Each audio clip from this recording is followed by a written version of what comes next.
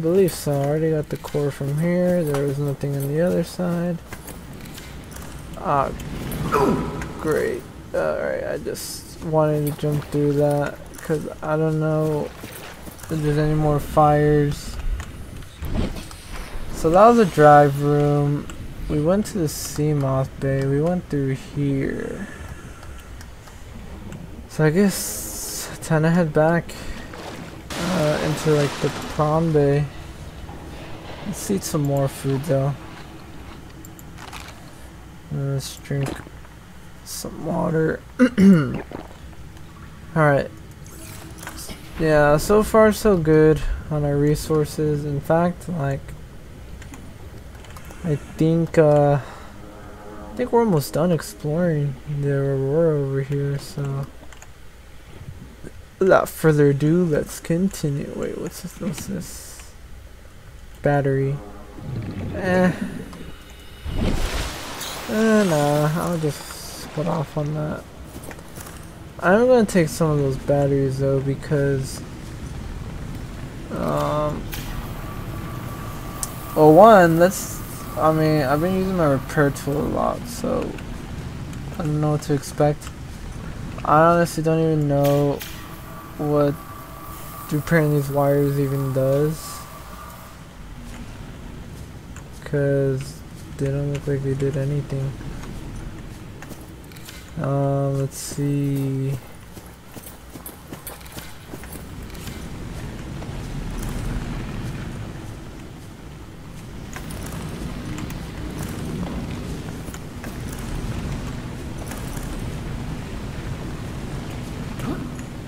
Oh, hey. Storage module. Oh, yeah, I definitely need that. I definitely need that.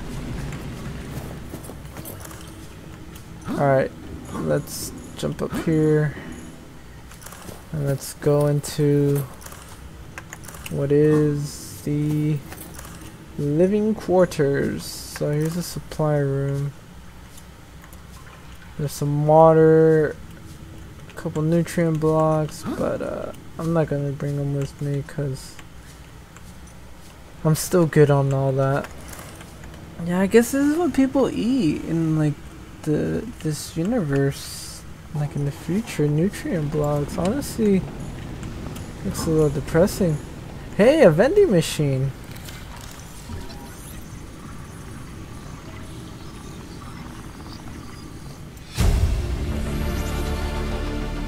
I wonder can I can I actually get snacks from it let's, let's see let's see no that's Cyclops upgrade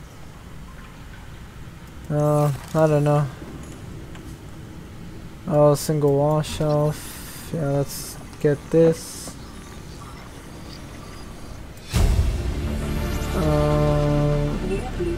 Acquired. Anything else here? Let's trash can. Oh yeah, let's get a trash can. Now we've got a place to properly throw away stuff. Acquired. Alright, I'm definitely taking this, this key composter. Integrating new PDA data. Let's see, spacebar Veluit, Velut, sensor introduction to the interstellar vacuum, and 21st century microscopic tardigrades or space bears have adopted have adopted and flourished where no other life forms have, condensed into a smooth, nutty, protein-rich soup. They are the lo freshest local ingredient available to travelers on long-haul space flights. Mm, main cottage pie nutrient block, rehydrated minced beef in its own gravy, served with a topping of mashed Chinese potato, picked fresh this morning from onboard grow beds and the side of sauteed Chinese potato plant leaves. For the time-conscious consumer, the usual nutrient block options are available. They may be consumed cold or reconstituted at the on-site fabricator. And the dessert is dried fruits and nuts. Unfortunately, a recent accident in Cargo Bay 3 involving the incorrect application of a repulsion cannon in combination with the modified battery charger resulted in the venting into space all of space of all dehydrated desserts. Fruits and nuts will be the only available dessert for the next three. Ha! Wow, that sucks. Uh, I don't know. The menu doesn't sound that bad. I don't know. What was it? Oh, another fire extinguisher. I don't know how good that uh those nutrient blocks are, but that other thing, like that main course, sounded pretty good.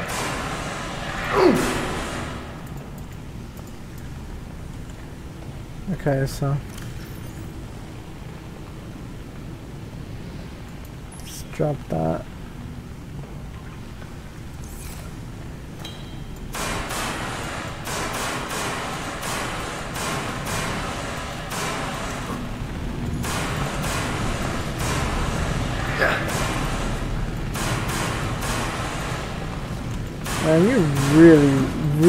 Extinguish the flames well.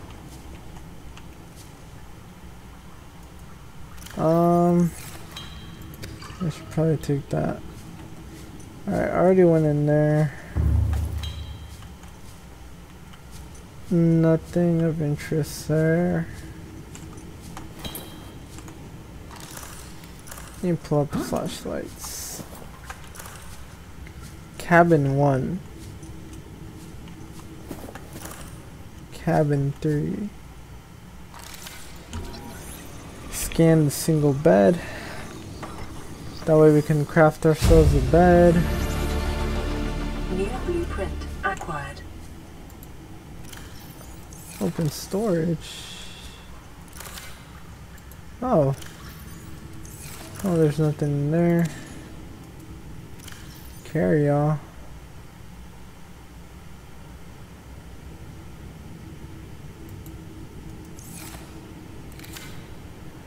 Oh, I see.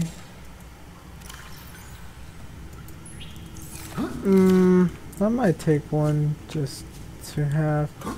Ooh, I'm taking this though. That prawn. Suit poster filtered water, sure. Wait, that's filtered water. Not disinfected. Alright.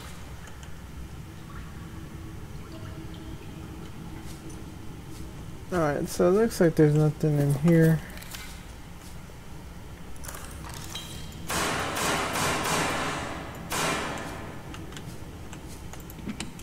Yeah, and these things will electrocute you in case you were wondering. um, the captain's quarters. Alright, there has to be a way to open these. Like, I think it was like in one of the messages here. Let's see. Anything from the Aurora? No. Oh, okay, yeah, like, here we go. So high security turn. Okay, so 2679. Alright, let's check that out. 2679. 2679. Hey, it worked. Basic double bed. Wow, this guy gets a double bed? Makes sense. Captains get everything. Hey. Aurora miniature. I'm gonna take this. I'm gonna take these wall shelves. Or I'm gonna scan these wall shelves so I can build them. New blueprint acquired. Average long-range transmission delay, 8 hours. Opening last recorded transmissions. This is an emergency distress call. Aurora is on collision course with planet 4546b. Sending all available environmental data. Please respond with rescue solution. Out. This is Alterra HQ. Attached to this message, you should find the blueprints for an escape ship that we calculate will be capable of breaking orbit and getting you back to the nearest phase gate. Now, it's designed to use materials you can find in situ, but it's gonna need one hell of a power source. Now, we'll be sure to... Aurora long-range communications relay offline. Alright, so it looks like we found the blueprints for an escape rocket. Mm, it was developed by Alterra headquarters specifically to get you off this planet and back to the nearest phase gate. Uh, it says it may be adapted to employ whatever power source is available, but it will require a lot of it. Consists of five independently constructible elements. Launch platform, floating platform provo provides a solid base from which okay gantry structural support stage one primary thruster for reaching atmosphere escape free resort cockpit. So one person life support short range communications adaptable power supply orbiting shielding uh, onboard. Onboard AI will not launch if local threats are detected. Mm, the use of alien materials to power the craft may increase its range in unpredictable ways Alright, so looks like we found our way out of here. This, we're gonna have to build this rocket, but it's not gonna be easy because maybe like building it may be the easy part, but getting the power source is another thing, and that's another thing we have to take into consideration. As long as that uh, laser is still there, the rocket will launch because it'll detect the threat. And even if it didn't for sure that laser would just blast us right out of the sky. So we still need to shut it down.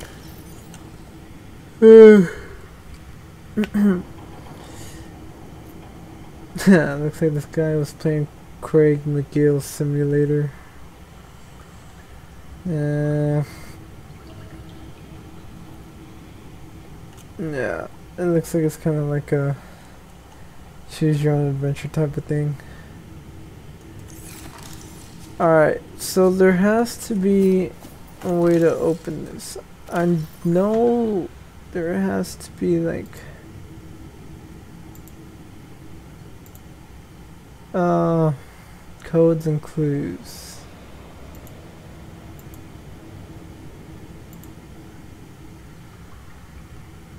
Oh, that's where that transmission is? Oh, I didn't even read this and it was right there. So let's see. You're telling me you've been to this, you've been on this rig more than a year and you never took a ride on the outside? Well, now, you've only gone and gotten yourself a friend with the keys to a giant freaking robot suit. We've plain got nothing to do till we get Starside to work on the gate. You want to taste the stars? You've only got to say, my spare prawn suit's got your name on it. You don't know what power feels like till you've crushed an asteroid with your bare, heavily mechanically augmented hands. Wanna play catch with the passing meteor? Come by cabin number one. Code's 1869. Alright. 1869. Let's see here. Integrating new PDA data. Uh.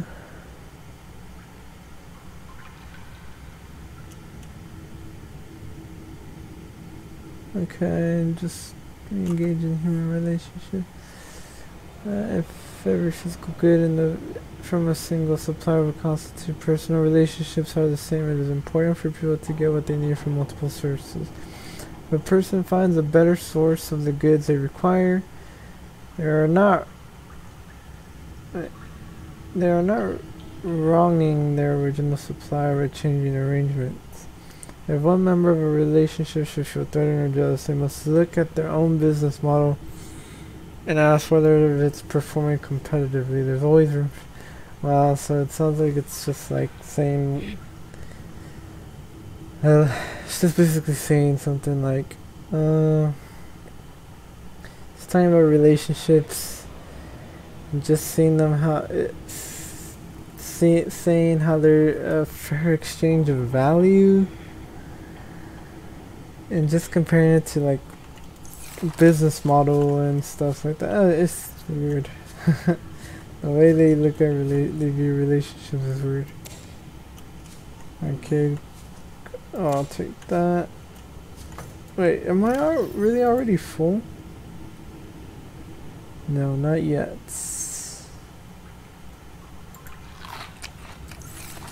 Alright, um, cabin two. But from the looks of it, there is no way of opening cabin two.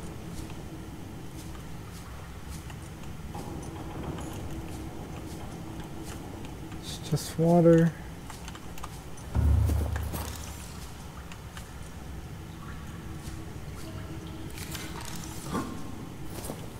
See, is there anything else here? Oh yeah, cabin 4 and cabin 7. There's a mirror there. Another prawn poster. Nutrient block. Speaking of.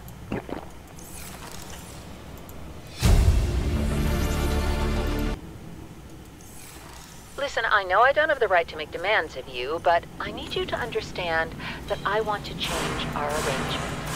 I hear what you're saying, and I will try to respect it. How would you like to change it? I would like to reduce our contact hours How much further can we do that? to zero. You're dumping me. I'm changing the terms of our relationship. How is it still a relationship if we don't see each other? It's a relationship of a kind. You have so many expectations. I feel you just want to spend more time with that dumb guy in his dumb robot suit. That's not a feeling. It's a judgment. And I feel hostility in what you're saying. Perhaps your jealousy is a sign that you need to take another look at your business model. Why can't you just be happy for me? I am happy for you, and I'm happy for all the guys in the prawn bay. I'm just not happy for me. This is why I want to change our arrangement. Wow.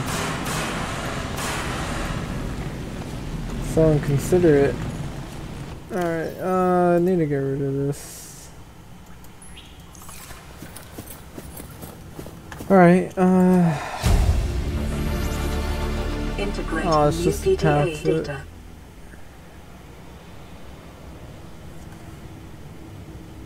Uh, charity is an archaic concept which the realism of today's Alterrans has rendered obsolete. We understand that we are each responsible for ourselves, but the best way to get the most of out of for ourselves is to work together with Alterra. The implication of this reasoning is clear. If someone is in need, must find a way to be needed. Alterra Alms is a training academy for those that need to be needed. We're not a charity because we don't ask for handouts. We prefer to think of ourselves as a philanthropic beneficence, facilitation service, promoting synergy between employer and workforce. AA operates on a lottery system. By investing any number of credits, you will be entered into our prize draw. Larger investments yield higher chances of winning. Your credits will go toward training unskilled colonists in vital tasks such as maintenance and interpersonal skills. Um, the colonists receive this training voluntarily and free of charge on condition of a minimum contract of one year with one of our investors on completion of their training.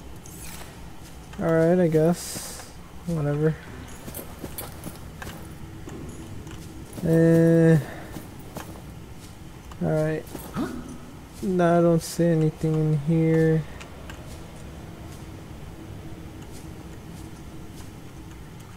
No, I don't need a first aid kit. Alright, let's get the propulsion cannon.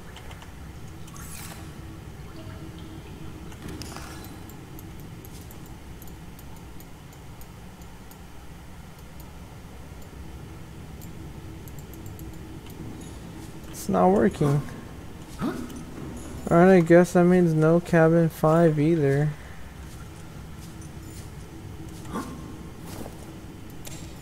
I will take that. I guess I'll take that battery now. Um, so I guess that's everything, huh? Unless, is there other way? Is there like another way through? Oh shit. Like something I missed? No, I already explored this area. Just double checking though.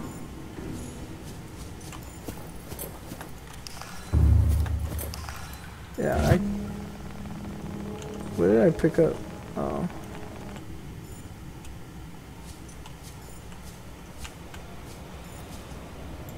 Alright, I already downloaded that. Um. Alright, so yeah, I don't see anything else here, so let's head back. I'm just making sure got everything. Let's get some light in here.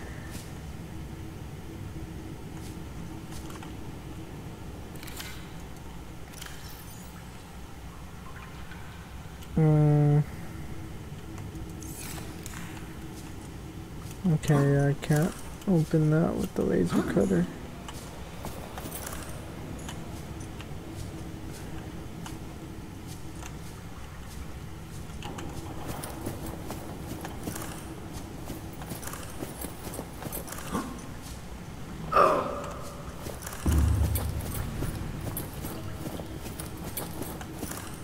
You already went through there, right? The locker room? Yeah, I did. Um, hmm. Well, I don't see anything else. So, I already went through there. So let's head back in here.